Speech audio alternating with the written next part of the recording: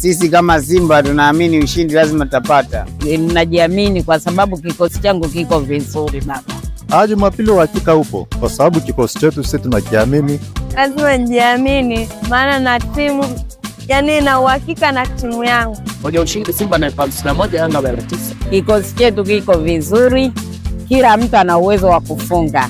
Mpira kama mpira, mpira utakuwa mgumu eh, sababu Yanga wenyewe na kama unavyowajua Akikosa Aziziki atafunga Msonda, akikosa Msonda atafunga Maxi, kosa Maxi atafunga Pakome, hadi golikipa anaweza kufunga. Unasemaje mpaka yani yaani ushindi upo. Nasema hivyo kwa sababu timu yangu jinsi naiamini na ninajua wachezaji tumesajili na wachezaji tunao, lazima tushinde.